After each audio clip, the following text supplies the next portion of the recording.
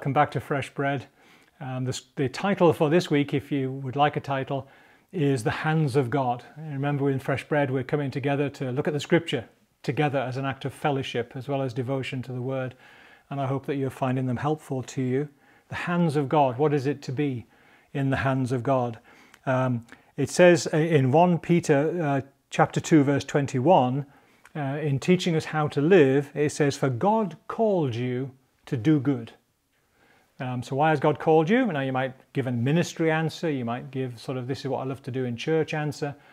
But really, the fundamental call of God on my life and yours is to do good, to do good things, to, to be a, an influence in the world of goodness and of caring and of involvement. So God called us to do good. So when we see evil in the world, when we see injustice in the world, when we see inequality and bias, um, what are we to do? We are to do good. Um, we're not to think, well, I'm, I'm, as good as my neighbor or I'm as good as my nation. No, it's, it's, it's God who is your Father. And, and so, in His sight, we are born and called and anointed and filled with the Spirit to do good. Um, uh, even if it means suffering. This is again 1 Peter 2. Um, even if it means suffering, just as Christ suffered. Some versions say, just as Christ died for you. So we are to do good, even if it means suffering, just as Christ did. And now, you know, our reaction to that is, no, no, I just wanted to imitate Christ in the miracles and in the healing. And if I could do just a tiny bit of walking on water, I'd really like that. Sounds cool. I'd like to do that.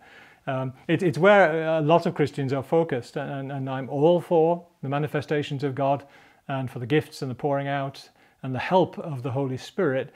But we are being called to do good uh, and to use the gifts and the powers and, and the, the, loving hearts that God has given us to reach out and to do good and, and to embrace suffering for that in any way that's necessary as we walk the path that God has given to us.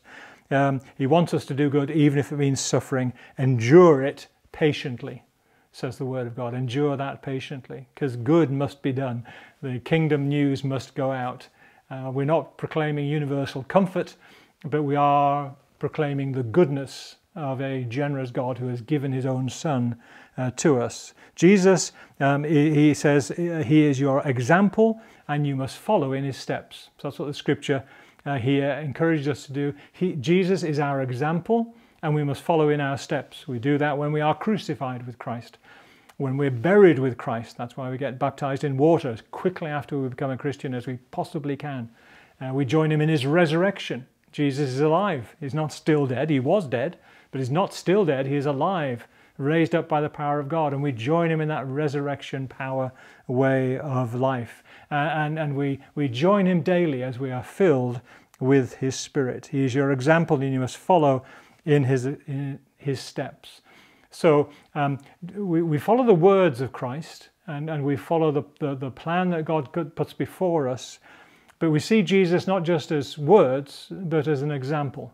Uh, we live like him, even when we have uh, uh, perhaps no, no particular scripture telling us to, to stop and help this person, but, but we stop and help because of his example towards us. We follow him in his steps.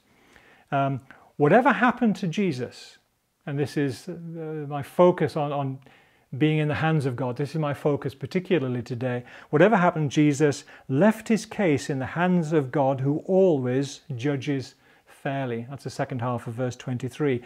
He left his case in the hands of God who always judges fairly.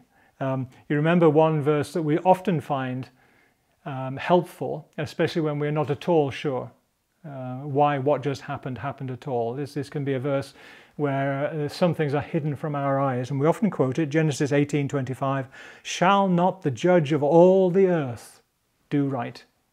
And he's our example, isn't he?